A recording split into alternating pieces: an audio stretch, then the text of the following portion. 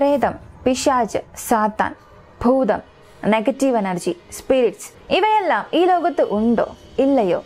ഈ ഒരു ചോദ്യം പല നൂറ്റാണ്ടുകളായി മനുഷ്യൻ ഉത്തരം അന്വേഷിക്കുന്ന ചോദ്യമാണ്. എന്തിന് മനുഷ്യന് ഇതുവരെയും ഉത്തരം കണ്ടെത്താൻ കഴിയാത്ത ചോദ്യം എന്ന് വേണമെങ്കിലും പറയാം. ക്യാമറയിൽ പതിഞ്ഞ പ്രേതത്തിന്റെ രൂപം എന്ന് പറഞ്ഞ് ആയിരക്കണക്കിന് വീഡിയോസ് റിലീസായാലും നമ്മൾ വളരെ ആഴത്തിൽ വിശകലനം ചെയ്യുമ്പോൾ അതെല്ലാം ഫേക്ക് വീഡിയോസ് ആണെന്ന് നമ്മളെ കൊണ്ട് വളരെ എളുപ്പത്തിൽ മനസ്സിലാക്കാൻ സാധിക്കും. എങ്കിലും പ്രേതമെന്ന ഒന്ന് ഇല്ല. അങ്ങനെ പറയുന്നവർ തന്നെ അർദ്ധരാത്രി രണ്ട് മണിക്ക് ആ ഒരു ഇരുട്ടിൽ ഒറ്റയ്ക്ക് ഒരു മുറിയിലായിരുന്നാൽ അവർക്കും ഒരല്പം ഭയം തീർച്ചയായും ഉണ്ടാകും. അങ്ങനെ നോക്കിയാൽ ഇരുട്ടും ഒറ്റപ്പെടലും തീർച്ചയായും ഒരു മനുഷ്യന് ഭയമുണ്ടാക്കും. അങ്ങനെ ഒരു ഭയത്തിൽ നിങ്ങളായിരിക്കുമ്പോൾ നിങ്ങളുടെ അടുത്തിരിക്കുന്ന നിങ്ങളുടെ കൂട്ടുകാരി ഈ ലോകത്തിൽ യഥാർത്ഥത്തിൽ നടന്ന ഒരു പ്രേത കഥ നിങ്ങളോട് പറഞ്ഞാൽ എന്തായിരിക്കും നിങ്ങളുടെ അവസ്ഥ? സത്യം പറഞ്ഞാൽ ഇന്ന് അങ്ങനെ ഒരു ഭയാനകമായ കഥ നിങ്ങളോട് പറയാൻ പോകുന്ന കൂട്ടുകാരി തന്നെ ഞാനാണ്.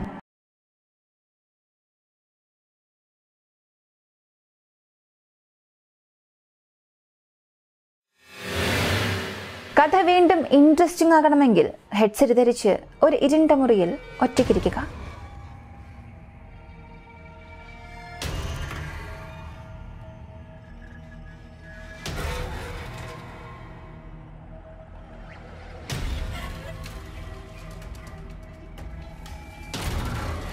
ഏകദേശം നൂറ്റി അൻപത് വർഷങ്ങൾക്ക് മുൻപ് ആയിരത്തി എണ്ണൂറ്റി അൻപത് ഇംഗ്ലണ്ടിനടുത്ത് ബാർലി എന്ന സ്ഥലത്ത് ഒരു പഴയ ദേവാലയം പ്രതീക്ഷിക്കാത്ത രീതിയിൽ തീ വിപത്തിലൂടെ മുഴുവനായും കത്തിനശിച്ചു ഈ അമാനുഷികമായ കഥ പുറം ലോകം അറിയാൻ പ്രധാനപ്പെട്ട കാരണം തന്നെ ആ ഒരു വിപത്തായിരുന്നു. ആ സമയത്ത് ബാർലി ഭാഗത്ത് താമസിച്ചിരുന്ന ജനങ്ങളെല്ലാം ദേവാലയം കത്തി നശിച്ചത് ഒരു അപശകുനമായി കാണാൻ തുടങ്ങി. ജനങ്ങൾക്കിടയിലെ ഭയം മാറ്റാനും വീണ്ടും അവരെ പള്ളിയിലേക്ക് വരുത്താനും അവിടെയുള്ള ചില പുരോഹിതന്മാർ ചേർന്ന് വളരെ പ്രശസ്തനായ ബാർലിയിൽ താമസിപ്പിച്ച് ജനങ്ങൾക്കുള്ളിലെ ഭയം മാറ്റാനായി കുടുംബത്തോടൊപ്പം വിളിച്ചുകൊണ്ടുവന്നു ഈ ഒരു ചർച്ച് ഫാദർ താമസിക്കാനായി നേരത്തെ കത്തി നശിച്ച ചർച്ചിനടുത്ത് ഒരു വീടും ആ നാട്ടിലെ ജനങ്ങളെല്ലാം പണിതു കൊടുക്കുന്നു. ഈ പ്രശസ്തനായ പുരോഹിതൻ ആ നാടിനുള്ളിൽ കാൽ പതിച്ച അടുത്ത സെക്കൻഡ് തന്നെ വളരെ വിചിത്രമായ ഒരു അനുഭവം അദ്ദേഹത്തിനുണ്ടായി. ജനങ്ങളെല്ലാവരും സാധാരണ രീതിയിലല്ലാതെ വളരെ വ്യത്യസ്തമായി പെരുമാറുന്നത് അദ്ദേഹം ശ്രദ്ധിച്ചു. ബാർലിയിലെ ആരും ഏഴ് മണിക്ക് ശേഷം വീടിൽ നിന്നും പുറത്തേക്ക് ഇറങ്ങാറില്ല. ജീവൻ പോകുന്ന അവസ്ഥ വന്നാൽ പോലും ജനങ്ങൾ ആ അടച്ച വാതിൽ തുറക്കാതെ വീടിനുള്ളിൽ ശാന്തമായിരിക്കും. ജനങ്ങളുടെ ഈ ഒരു വിചിത്രമായ സ്വഭാവം കണ്ട ആ പുരോഹിതനും ശരി. പള്ളി നശിച്ചു പോയ ആ ഒരു ഭയത്തിൽ ജനങ്ങൾ ഇങ്ങനെയൊക്കെ ചെയ്യുന്നുണ്ടാകും. നമ്മൾ അത് ശരിയാക്കാം എന്ന് കരുതി തന്റെ കുടുംബത്തോടൊപ്പം ആദ്യത്തെ ദിവസം ആ കത്തി നശിച്ച ചർച്ചിനടുത്തുള്ള വീടിനകത്തേക്ക് കയറുന്നു. ആദ്യമായി ആ വീടിനുള്ളിൽ കാൽ പതിച്ച് താമസിക്കാൻ പോയ ആ ഒരു പുരോഹിതന് അവസാനമായി ആ വീടിനുള്ളിൽ താമസിക്കാൻ പോകുന്നതും താൻ തന്നെ ആയിരിക്കുമെന്ന് ആ സമയം അറിയില്ലായിരുന്നു. സമയം കഴിയുന്തോറും സൂര്യൻ മറഞ്ഞു. പ്രകാശം പരത്തിയ നിലാവും. ഇരുണ്ട മേഘങ്ങൾ കൊണ്ട് മറയാൻ തുടങ്ങി. ഈ സമയം വീടിനുള്ളിൽ ഉറങ്ങിക്കിടന്ന ഫാദർ ഞെട്ടി ഉണരുന്നു. അതിന് ഒരു കാരണവും ഉണ്ടായിരുന്നു. അദ്ദേഹം ആ താമസിച്ചിരുന്ന വീടിനു ചുറ്റി ഒരു മുപ്പത് നാൽപ്പത് പേർ വളരെ വേഗത്തിൽ ഓടി വരുന്ന ശബ്ദം അദ്ദേഹത്തിന് കേട്ടു. ഉറക്കത്തിൽ നിന്നും എഴുന്നേറ്റ ഫാദറും എന്തുകൊണ്ടാണ് ജനങ്ങൾ ഈ സമയത്ത് ഇങ്ങനെ ഓടുന്നത് എന്ന് ചിന്തിച്ചു കൊണ്ടിരിക്കുമ്പോൾ പെട്ടെന്ന് പുറത്തുനിന്ന് ആരോ വാതിൽ വളരെ ശബ്ദത്തോടു കൂടി തട്ടുന്നത് പുരോഹിതൻ കേൾക്കുന്നു. വളരെ ഭയത്തോടു കൂടി വാതിലിനടുത്തേക്ക് പോയ പുരോഹിതൻ സാവധാനം കഥക് തുറന്നു നോക്കി. തനിക്ക് മുൻപിൽ വളരെ സുന്ദരിയായ ഒരു സ്ത്രീ കന്യാസ്ത്രീകളുടെ വസ്ത്രം ധരിച്ച് ഭയത്തോടു കൂടി നിൽക്കുന്നു. എന്തു പറ്റി? എന്തുകൊണ്ട് നിങ്ങൾ ഇത്ര ഭയത്തോടു കൂടി കാണപ്പെടുന്നുവെന്ന് പുരോഹിതൻ ചോദിച്ചു. ഈ സമയം കന്യാസ്ത്രീ ദയവ് ചെയ്ത് എന്നെ രക്ഷിക്കണം. ഈ നാട്ടിലെ ജനങ്ങളെല്ലാം എന്നെ കൊല്ലാനായി പിന്തുടരുകയാണെന്ന് പറഞ്ഞു. ശരി ഒരു ജീവൻ രക്ഷിക്കാം. ഇതിനെക്കുറിച്ച് ജനങ്ങളോട് രാവിലെ സംസാരിക്കാം എന്ന് കരുതി ആ ഭയന്നുകൊണ്ടിരുന്ന കന്യാസ്ത്രീക്ക് താമസിക്കാനായി ഒരു മുറി കൊടുത്തു. അങ്ങനെ രാത്രി കഴിഞ്ഞു. രാവിലെയായി. ഒരുപാട് സമയമായിട്ടും മുറിക്കുള്ളിൽ നിന്നും ആ കന്യാസ്ത്രീ പുറത്തേക്ക് വന്നില്ല. കന്യാസ്ത്രീക്ക് എന്ത് പറ്റിയെന്നറിയാനായി പുരോഹിതൻ ആ മുറിയുടെ വാതിൽ തുറന്നു നോക്കിയപ്പോൾ അകത്ത് ആ കന്യാസ്ത്രീ ഇല്ല. പുരോഹിതനിപ്പോ ഒന്നും മനസ്സിലായില്ല. ഒരു പക്ഷേ രാത്രി താൻ കണ്ടത് സ്വപ്നമായിരിക്കുമോ എന്ന വലിയ കുഴപ്പത്തിലായി. ആ ഒരു കുഴപ്പത്തോടു കൂടി തന്നെ ആ ദിവസം അവസാനിച്ചു. വീണ്ടും പ്രകാശം നിറഞ്ഞ നിലാവുള്ള ആ രാത്രി കരും മേഘങ്ങളാൽ നിറയുന്നു. ഇന്നലെ കേട്ട അതേ കാലൊച്ച വീണ്ടും പുരോഹിതൻ കേൾക്കാൻ തുടങ്ങി. അങ്ങനെയാണെങ്കിൽ താൻ ഇന്നലെ കണ്ടത് സ്വപ്നമല്ല എന്ന് പുരോഹിതന് മനസ്സിലായി. വീണ്ടും ഇന്നലെ സംഭവിച്ചതുപോലെ ആരോ വാതിൽ വളരെ ശബ്ദത്തോടു കൂടി മുട്ടുന്നുണ്ട്. പുരോഹിതനും കഥകു തുറന്നു നോക്കി. അത്ഭുതം എന്ന വണ്ണം ഇന്നലെ കണ്ട അതേ സ്ത്രീ അതേ സുന്ദരിയായ കന്യാസ്ത്രീ അവിടെ നിൽക്കുന്നു. ഇന്നലെ പറഞ്ഞതുപോലെ ദയവ് ചെയ്ത് എന്നെ രക്ഷിക്കണം.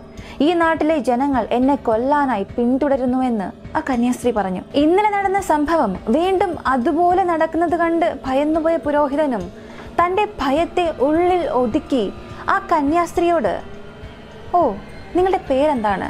നിങ്ങൾ എവിടെ നിന്നാണ് വരുന്നത്? എന്ന് ചോദിച്ചു. അതിനാ കന്യാസ്ത്രീയും ഫാദർ എന്നെ ദയവ് ചെയ്ത് വിശ്വസിക്കണം. ഞാൻ ഫ്രാൻസിൽ നിന്നാണ് വരുന്നത്. ഇവിടെ തൊട്ടടുത്തുള്ള ഒരു കോൺവെന്റിലാണ് ഞാൻ താമസിക്കുന്നത്. എന്റെ പേര് മേരി എന്ന കന്യാസ്ത്രീ പറഞ്ഞു. ശരി എന്ന് പറഞ്ഞ ഫാദറും ആ ഭയത്തോടു കൂടി തന്നെ ആ കന്യാസ്ത്രീ വീടിനുള്ളിലേക്ക് വരാൻ അനുവദിച്ചു. രാത്രി മുഴുവനും പുരോഹിതൻ ഉറങ്ങിയതേയില്ല. രാവിലായപ്പോൾ അദ്ദേഹം പ്രതീക്ഷിച്ചതുപോലെ ആ മുറിക്കുള്ളിൽ കന്യാസ്ത്രീ ഇല്ലായിരുന്നു. ഇങ്ങനെ കുഴപ്പങ്ങൾ വർദ്ധിച്ചുകൊണ്ട് വന്നപ്പോൾ അതിന് ഉത്തരമറിയാനായി തൊട്ടടുത്ത കോൺവെന്റിലേക്ക് പുരോഹിതൻ പോയി. മേരി എന്ന എല്ലാ കന്യാസ്ത്രീയെയും തനിക്ക് കാണണമെന്ന് ആവശ്യപ്പെട്ടു. എന്നാൽ പ്രതീക്ഷിക്കാത്ത ഒരു സംഭവം അവിടെ ഉണ്ടായി. ആ കോൺവെന്റിൽ മേരി എന്ന പേരുള്ള ഒരാൾ പോലും ഇല്ലായിരുന്നു. ഇപ്പോൾ അദ്ദേഹത്തിന്റെ മുഴുവൻ ചിന്തകളും ഭയത്തിലേക്ക് നയിച്ചു. ഇന്നത്തെ ദിവസം രാത്രി വരാൻ പാടില്ല എന്ന് അദ്ദേഹം പ്രാർത്ഥിക്കാൻ തുടങ്ങി. എന്നാൽ അദ്ദേഹം ആഗ്രഹിക്കാത്ത ആ രാത്രിയും വന്നു. ചെന്നായ്ക്കളുടെ ശബ്ദം പുറത്ത് വലിയ രീതിയിൽ കേൾക്കുന്നുണ്ട്. മിന്നൽ ജനാലയിലേക്ക് വന്ന് പതിക്കുന്നുണ്ട്. പഴയതുപോലെ നിലാവിന്റെ വെളിച്ചം മാറി ഇരുണ്ട മേഘങ്ങൾ കൊണ്ട് നിറയുന്നു. പതിവ് പോലെ കഥക് തട്ടുന്ന ശബ്ദവും പുരോഹിതന് കേട്ടു. എന്നാൽ ഇത്തവണ പുരോഹിതൻ വാതിൽ തുറന്നില്ല. ആ സമയം പതിയെ പതിയെ കഥക് തട്ടുന്ന ആ ഒരു വേഗത വർദ്ധിക്കാൻ തുടങ്ങി. പുരോഹിതൻ അകത്തിരുന്ന് ആ കഥകിനെ തന്നെ നോക്കി ഭയത്തോടു കൂടി ഇരിക്കുന്ന അതേ സമയം ആ വാതിൽ നിന്നും വന്ന ശബ്ദം പെട്ടെന്ന് അവസാനിക്കുന്നു. പുരോഹിതന്റെ ഹൃദയമിടിപ്പ് പതിയെ പതിയെ പഴയ അവസ്ഥയിലേക്ക് വന്നതും വളരെ സാവധാനം ആ വാതിലിനടുത്തേക്ക് നടന്നു പോകുന്നു. ശബ്ദമൊന്നും കേൾക്കാത്തതുകൊണ്ട് വാതിൽ തുറക്കാം എന്ന് ചിന്തിച്ച് വാതിലിന്റെ പിടിയിൽ കൈവച്ച അടുത്ത സെക്കൻഡ് പെട്ടെന്ന് ആ വാതിൽ മുട്ടുന്ന ശബ്ദം വീണ്ടും കേൾക്കാൻ തുടങ്ങി. ഭയത്തിൽ പുരോഹിതൻ ഒരു നാലടി പുറകിലേക്ക് ചെന്ന് വീഴുന്നു. ആ സമയം കഥകിന് പുറത്തു നിന്നും വളരെ ക്രൂരമായ ഒരു ശബ്ദം. കഥക് തുറക്ക് എന്ന് പറയുന്നു. ഭയന്നു വിറച്ച പുരോഹിതൻ ആ നാട്ടിലെ ജനങ്ങൾ എന്തുകൊണ്ടാണ് ഏഴു മണിക്ക് ശേഷം പുറത്തേക്ക് വരാത്തത്? എന്നുള്ള സത്യം ഇപ്പോഴാണ് മനസ്സിലായത്. അല്പസമയത്തിനു ശേഷം ആ കഥക് തട്ടുന്ന ശബ്ദവും അവസാനിച്ചു. എന്നാൽ ഈ സംഭവങ്ങളൊന്നും അവസാനിച്ചില്ല. ഇതിനുശേഷം ഇതുപോലെ ദിവസവും നടക്കും. ഫാദർ ഭയപ്പെടുന്നതും തുടർന്ന് നടന്നുകൊണ്ടേയിരുന്നു. കാലപ്പോക്കിൽ പുരോഹിതന് ഇതൊരു ശീലമായി തന്നെ മാറി. പറഞ്ഞു വന്നാൽ ഒരു ജീവിത രീതിയായി മാറി. ഫാദർ അതുമായി ജീവിക്കാൻ തുടങ്ങി. ഇങ്ങനെ പോയിക്കൊണ്ടിരുന്ന സമയത്ത് പല വർഷങ്ങൾ കഴിഞ്ഞ് ഒരു പ്രധാനപ്പെട്ട സംഭവം നടന്നു. അതാണ് ഒന്നാം ലോക മഹായുദ്ധം. ഒന്നാം ലോക മഹായുദ്ധ സമയത്ത് ആ പുരോഹിതൻ താമസിച്ചിരുന്ന വീട് ബോംബാക്രമണത്തിൽ നശിപ്പിക്കപ്പെടുന്നു. അതിന്റെ ബേസ്മെന്റ് മുഴുവനും നശിക്കുന്നു. ഈ സംഭവത്തിന് ശേഷം പുരോഹിതനെ മാത്രം ശല്യപ്പെടുത്തിക്കൊണ്ടിരുന്ന കന്യാസ്ത്രീ ആ പുരോഹിതന്റെ കുടുംബത്തെയും ശല്യം ചെയ്യാൻ തുടങ്ങി. ആ വീടിനുള്ളിൽ പുരോഹിതന്റെ കുടുംബാംഗങ്ങൾക്കും ഇടയ്ക്കിടയ്ക്ക് കന്യാസ്ത്രീയുടെ രൂപം കാണാൻ തുടങ്ങി. ചില സമയം തലയോട് കൂടി പല സമയങ്ങളിൽ തലയില്ലാതെയും അവർ കാണുമായിരുന്നു. ഇങ്ങനെ അമാനുഷികമായ സംഭവങ്ങൾ കണ്ട് കണ്ട് മുഴുവൻ കുടുംബത്തിനും ഭ്രാന്ത് പിടിക്കുന്ന ഒരവസ്ഥയിലേക്ക് എത്തി. ഇതിനുശേഷം ഇവിടെ താമസിച്ചാൽ ജീവൻ തന്നെ ആപത്തെന്ന് കരുതി ആ കുടുംബം മുഴുവനും ബാർലിയിൽ നിന്നും പോകുന്നു. എന്നാൽ അവിടെ നടന്ന ട്വിസ്റ്റ് എന്തെന്ന് ചോദിച്ചാൽ അന്നുവരെയും പുരോഹിതനെ മാത്രം ശല്യം ചെയ്തുകൊണ്ടിരുന്ന ആ ഒരു കന്യാസ്ത്രീ അതിനുശേഷം നാടിനുള്ളിൽ കടന്ന് എല്ലാവരെയും ശല്യം ചെയ്യാൻ തുടങ്ങി. എപ്പോഴാണോ പുരോഹിതൻ താമസിച്ച വീടിന്റെ ബേസ്മെന്റ് നശിച്ചത്? അപ്പോൾ മുതലാണ് ഇങ്ങനെയുള്ള അമാനുഷികമായ സംഭവങ്ങൾ നടക്കാൻ തുടങ്ങിയത്. ഇത് മനസ്സിലാക്കിയ ആ നാട്ടിലെ ജനങ്ങൾ ആ സമയത്ത് വളരെ പ്രസിദ്ധരായ പാരനോർമൽ എക്സ്പേർട്സായ എഡ് ആൻഡ് ലൊറൈനെ ആ ഒരു നാട്ടിലേക്ക് ക്ഷണിക്കുന്നു. എഡ് ആൻഡ് ലൊറൈൻ ആ ഒരു ബേസ്മെന്റിൽ ചെന്ന് ഗവേഷണം നടത്തിയപ്പോൾ അകത്ത് ഒരു പഴയ അസ്ഥികൂടം ലഭിക്കുന്നു. അന്വേഷണം നടത്തുമ്പോഴാണ് മനസ്സിലായത് ആ പഴയ അസ്ഥികൂടങ്ങൾക്ക് പുറകിൽ നാനൂറ് വർഷത്തെ വളരെ രഹസ്യമായ ഭയപ്പെടുത്തുന്ന ഒരു കഥയുണ്ടെന്ന്. അതെ എഡ് ആൻഡ് ലോറൻ നിന്നുകൊണ്ടിരുന്ന ആ ഒരു ബേസ്മെന്റ് നാനൂറ് വർഷങ്ങൾക്ക് പുറകിലേക്ക് പോയി നോക്കിയാൽ അവിടെ ഒരു വലിയ ദേവാലയം ഉണ്ടായിരുന്നു. ആ കാലഘട്ടത്തിൽ ദേവാലയത്തിൽ ജോലി ചെയ്യുന്ന വൈറ്റ് മോങ്സ് വെളുത്ത പുരോഹിതന്മാർക്ക് കർശനമായ ചില നിയമങ്ങൾ നൽകിയിട്ടുണ്ടായിരുന്നു. ആ നിയമം അനുസരിച്ച് വൈറ്റ് മോങ്സ് വിവാഹം കഴിക്കാനേ പാടില്ല. ഒരു ദിവസം ഒരു നേരം മാത്രമേ ഭക്ഷണം കഴിക്കാൻ പാടുള്ളൂ. എന്നാൽ ആ ദേവാലയത്തിൽ ജോലി നോക്കിയ ഒരു പുരോഹിതൻ ഫ്രാൻസ് നാട്ടിൽ നിന്ന് വന്ന ഒരു കന്യാസ്ത്രീയെ പ്രണയിക്കാൻ തുടങ്ങി. രണ്ടുപേർക്കും പരസ്പരം ഇഷ്ടമായി.